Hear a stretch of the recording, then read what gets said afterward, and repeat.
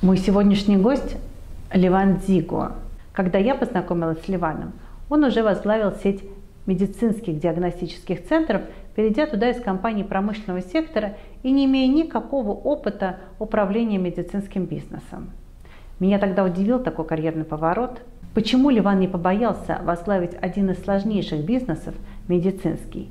И как ему вообще удается быть успешным в самых разных индустриальных контекстах – об этом мы и поговорим сегодня. Вперед идут, по-моему, дураки, а умные люди идут туда, куда им нужно. Я вообще-то был готов, что вы скажете, Ливан, мы с тобой интервью делаем два раза, первый и последний. Это, это, такие шансы в жизни, наверное, выпадают, наверное, реже, чем хороший выигрыш. Каждый шаг ну, я старался делать вперед. Может быть, шел не так быстро, как хотелось, но направление было к успеху. И всегда оценивал, почему я выиграл.